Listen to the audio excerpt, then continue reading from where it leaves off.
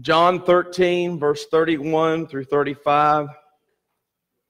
The scripture tells us So when he had gone out, Jesus said, Now the Son of Man is glorified, and God is glorified in him.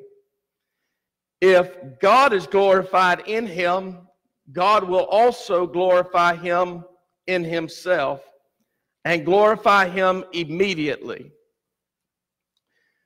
Little children, I shall be with you a little while longer. You will seek. And as I said to the Jews, where I'm going, you cannot come. So now I say to you, a new commandment I give to you, that you love one another as I have loved you. That you also love one another by this. Somebody say, by this not by your tongues, not by your dress code, not by anything else, but somebody say love. By this, all will know that you are my disciples if you have love one for another.